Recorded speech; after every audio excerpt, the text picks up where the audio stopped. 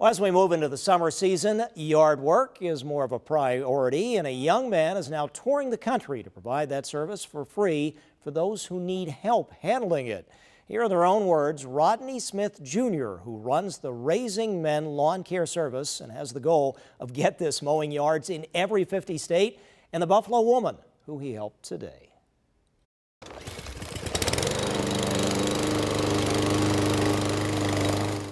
Raising Men Lawn Care Service, we mow lawns free for the elderly, disabled, single moms, and veterans. We also mentor kids ages 7 to 17 and show them the importance of giving back to community with a lawnmower. Back in 2015, I saw an elderly man outside mowing his lawn. It looked like he was struggling, so I pulled over and I helped him out.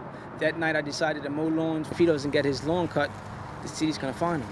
You know, and he couldn't afford no one to pay. He couldn't afford to pay no one. That's that's the story with many of the elderly people we help. They can't afford pay someone. So when we can come cut it for free, they can use those funds for medication and food and other things they really need. Tie right now is gonna, it's gonna look pretty once I'm done with it.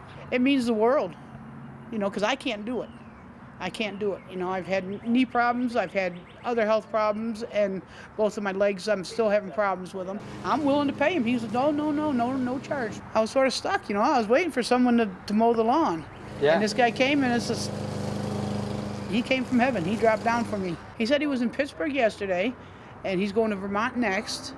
And I want to know when he's going to Alaska and Hawaii, because I think that's cool. It is cool and a great idea. We have a link on our website, WGRZ.com, for Smith's website for Raising Men Lawn Care Service to explain their goals and what they're all about.